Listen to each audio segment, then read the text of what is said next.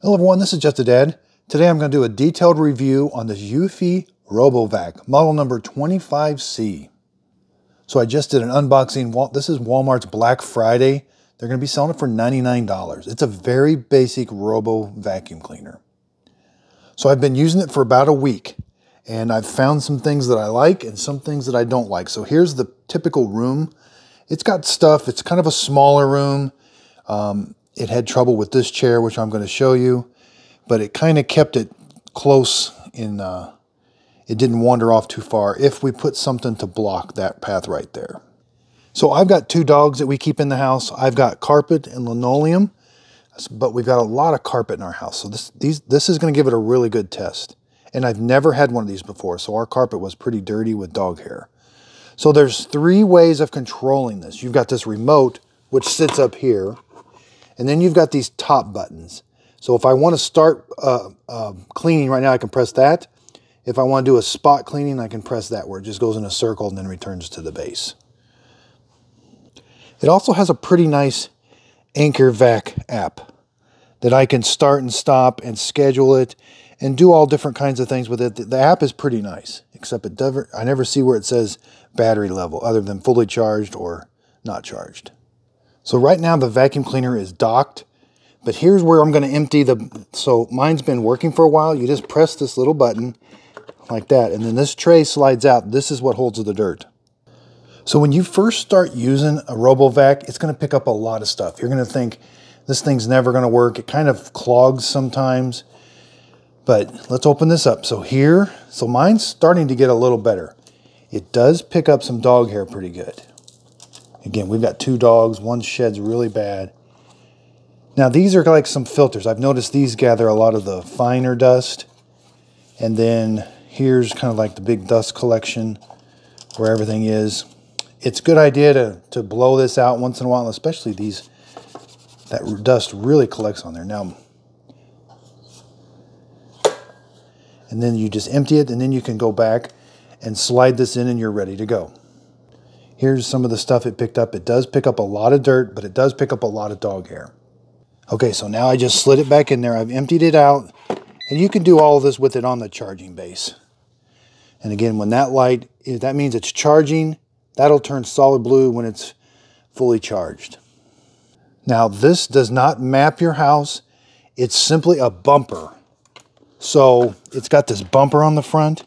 That's what activates it to make it turn and do things. So when I first ran this in this room, it was it this thing was absolutely full of dog hair after 10 15 minutes. So when you first get one, they're going to kind of clog up. They're going to fill up really quick and you can see yeah, see. And even the bristles. I've got some stuff I've got to pull off of those even. So they tell you, and I've read this in the reviews, you have to give these things some time. You get, it's not used to be, your carpet's not used to being clean basically this thorough because these things actually do a really good job.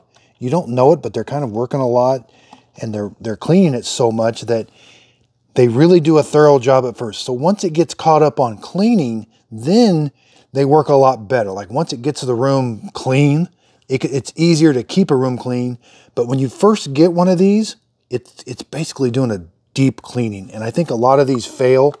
People um, think that it's no good because it didn't work, but let it get it, the room clean. And again, you may have to empty this quite a few. I emptied this quite a few times earlier than I had to. And um, sometimes it would be clogged up in here and here. And again, I just had to do this a couple times, take this stuff off the bristles. Now, this doesn't mean this is a bad machine yet. If it, if it continued to do this after a long time, then I might consider that. But our carpet is, we do vacuum once a week with a vacuum cleaner, but that's all we've ever done. It's never had quite this deep cleaning with this. And again, if you ever work on it, you're supposed to turn it off and then turn it back on because it could start on automatically anytime. Okay, so let's get to cleaning. I'm going to use the remote. The remote's infrared, so you have to kind of point it at it a little bit. So if you just press, that's the cleaning button, or you could just come up here and just press that. Or you can use your app. So it beeps at you to let you know it starts. So these whisker things, these things fell off right away. So it pretty much went around the, I've been using it pretty much without those sweeps. I put them on just for the video to see how long it would last. Now it really struggled with this chair. And it got a hung up, see, it's already lost one of the whisks. And this, I would have thought this chair would have worked okay. But it's just low enough to where it ramps up on it. Sometimes it can get off, sometimes it can't. It's trying to.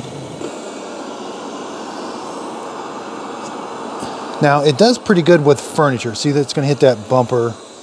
Now, I did have to put something, I don't want it to leave this room. Because it will wander off. If you don't contain it into a room, these things will wander off and you it can be they can be hard to track down. Now there's no kind of boundary you can put up other than a physical boundary. Some have like a metal or a, a magnetic strip you can put down and it'll turn around and go away from it. But these, it's a physical boundary only. It only uses that front bumper. That's why it's so basic. So it's not super quiet, but it's not super loud either. Now, I can turn it up to boost. It's got three levels of suction, so I can press this little fan button. That It starts at the medium setting.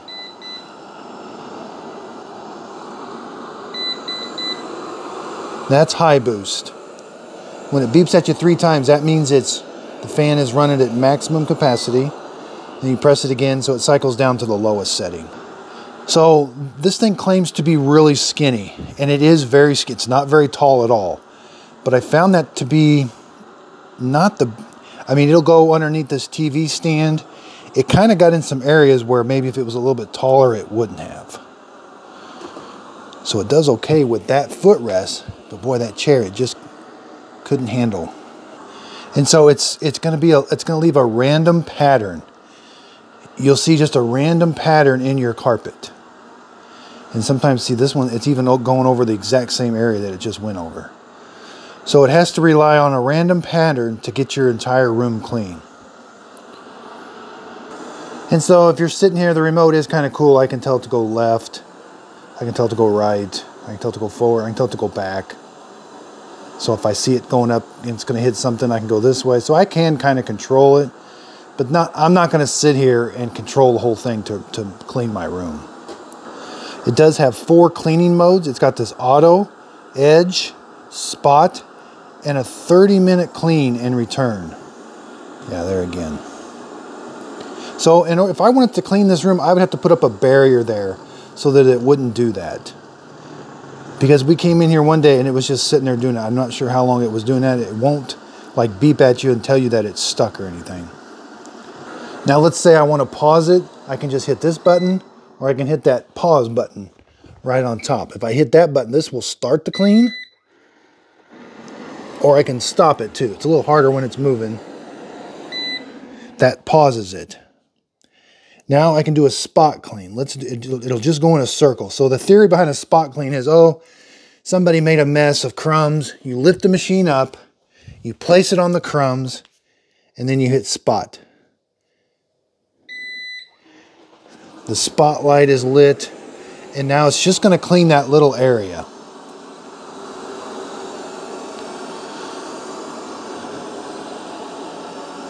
It keeps going in a circle till it works its way out really wide. So when it's in spot mode and it hits something, it doesn't like it. It wants the area to be perfectly clean. So it just stopped. So it went in a circle till it hit something and then it couldn't come out of the mode and go into, I would have hoped it would have just gone into automatic mode and start pinging off, but it didn't. So now I can just hit, so let's do edge. That's what edge cleaning is. It'll go around and do your edges. It's supposed to just hug the, your perimeter wall. So in edge cleaning, it's very tedious. It's constantly trying to make a right-hand turn. It doesn't go very far. It's, it keeps trying to go right So let's do return to base. Hit the power charge button. That's return to base. Now I've found if this thing is off in another room, return to base does not work the best. It seems like it has to be pretty close. Now I've challenged this. You're not supposed to have the charging. You're not supposed to have a chair this close to the charging. They're supposed to be uh, nice and wide open all the way around, like three feet on each side and six feet in front of it. I, I just found that to be unpractical if I'm going to keep it in this room. So it's really trying, it turns the vacuum part off and now it's trying to find the base station. I found that it works about 50, eh, maybe 75% of the time it finds the base. If it stays in this room, if I put up a boundary and it stays just in this room, it, it usually finds the base. But if, it's, if it wanders off into another room, it can't find the base. Okay, so it found the base. That took maybe four minutes, maybe not very long at all. It slows down right when it gets to it, and then it charges itself automatically. Now, it won't start cleaning again. It will automatically charge itself, but I have to go up and manually start cleaning it again, or press the button on the remote, or if I've got a scheduled clean. So the app is pretty nice. It's got this nice feature, find. Uh, one time it went under our bed and I couldn't find it. If you press that button, it says find my robot, it'll start flashing. So when you press start, the lights flash and it gives off a tone. That way, if you do lose it, you can find it. And then from the app, I can change the modes. I can do all the different modes of cleaning. I can schedule it. So I can set up a really nice schedule to have this thing clean on certain days and certain times of the week. So sometimes it does hit that charging base and it did knock it off a little bit. Okay, so let's see how it did. It only ran, what, maybe 10 minutes there? Hardly at all. Let's turn it off. How did this do? Yeah, it did pretty good. We lost one of the sweepers. These things are pretty stout and they don't work real good on carpet. There's the charging and there's the wheel. Okay, so when you got it out, you got to push this down and it should pop open. So again, the stuff really wants to clean to that those top little filters. So again, and it did pick up quite a bit more dirt just in that little bit of time. But it really that really fine stuff really wants to collect to those. And again, when you first get one of these, you're going to have to clean this out quite a bit. You can't just let it go till it needs charged. You're to have to clean this about every, oh, 20 or 30 minutes in between charges. So I got this back in. I can't place it on the charger. So you just line up that with that and you'll get it. And that's how you know it's charging. So I can manually put it on the charger. So again, it's it's not necessarily designed for um, carpet, I don't think, but it, it didn't do that bad of a job on the carpet. We did try it on the linoleum. Even with the linoleum, those sweepers, even those came off. We had just this little bitty rug right here and it knocked one of the sweepers off. So I'm new to um, Robo vacuums. I'm going to like it though. Um, but I see why you pay more money. This starts out at $99. This is entry level. But I've also got another one that we paid about twice as much for, and I'm, I'm really starting to like it. So my next video is on the shark. I really like it. It's It empties itself with this container. Absolutely love it. And it does, it does lines. Like you can, it does back and forth. It doesn't do a random clean. So I haven't hooked it up to the Amazon device or the, the Google device yet, but it looks like you can give commands um, to tell it to start cleaning, stop cleaning. So that would be really nice. I could see where that could be nice. So it works with both of them. So Anker has, a, this is a really good manual. Goes through a lot, all the setups and everything you need.